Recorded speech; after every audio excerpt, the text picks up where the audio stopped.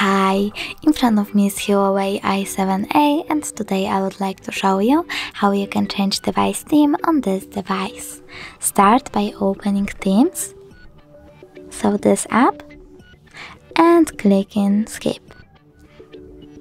Now click on me at the bottom right corner and tap on the theme that you like the best.